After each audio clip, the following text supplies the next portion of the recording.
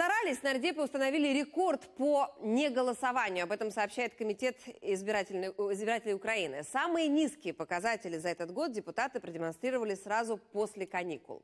Для сравнения, в июле один депутат в среднем участвовал почти в половине голосований. В июне немногим больше, а в апреле в 45. Как сообщает комитет, всего в сентябре регулярно голосовали лишь 60-80 депутатов из 422.